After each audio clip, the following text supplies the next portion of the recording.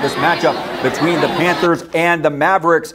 James Monroe with a 13 0 lead in the second quarter, but deep in their own territory, Eli Allen pitches to Grant Lively, looks to have enough for the first down, but he's able to break several tackles and has nothing but open field in front of him down the sideline for a 95 yard touchdown.